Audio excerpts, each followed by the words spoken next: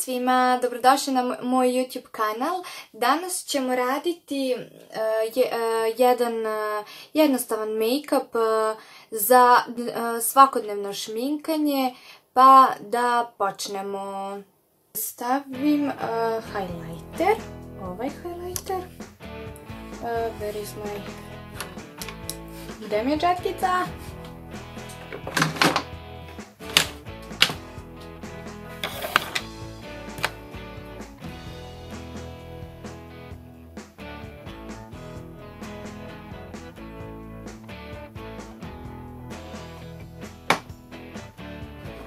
Zatim ide ova lepa bijela sjenka. Gde? Ovde. Ima malo posljednje.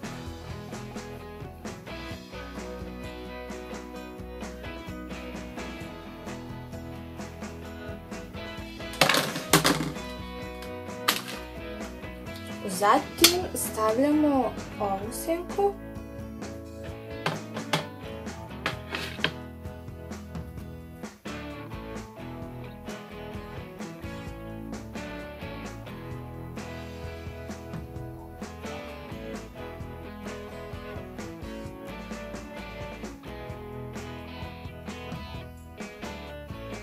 Tako. Sada stavljam beli kreon.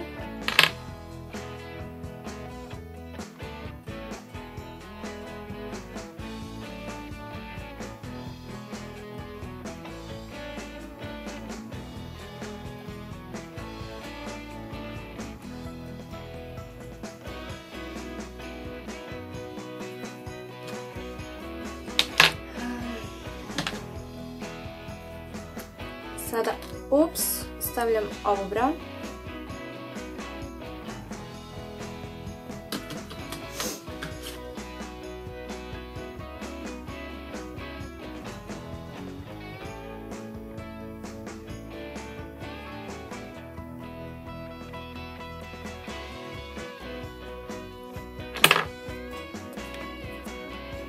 Sada ću da ovim traplice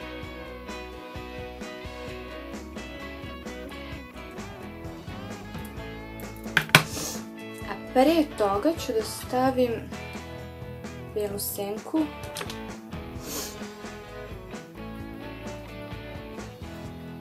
Ovdje.